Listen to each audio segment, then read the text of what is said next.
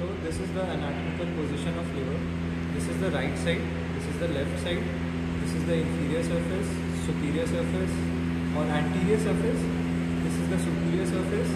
This is the posterior surface. So uh, we come on the posterior surface. This is the inferior vena cava. See the big vessel. And so uh, this is the cystic duct, and this is the gallbladder. And this is the caudate lobe, quadrate lobe this is the right part this is the left part. Uh, this structure this structure is ligamentum teres. And here we can find the ligamentum venosum here are the depression for esophagus then the stomach then the duodenum and then the colon comes here.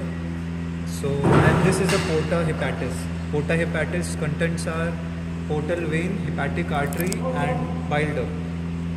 So these are the lobes these are uh, this is the falciform ligament which connects the liver to the anterior abdominal wall. And so this is? That's it.